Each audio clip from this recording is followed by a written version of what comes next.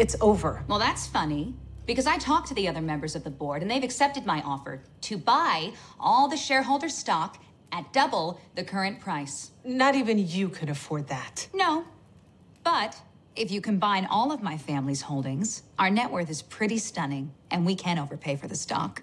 It takes a village. That doesn't even make financial sense. Once the sale goes through, Fallon Unlimited will go back to being a private, family owned business. Oh, and you're fired, obviously.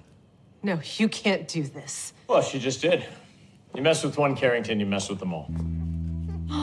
You see, Lauren, that is the face you want your enemies to make after you've destroyed them.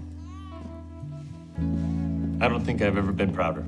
And I'm so happy my granddaughter got to see the creation of her family legacy To the future.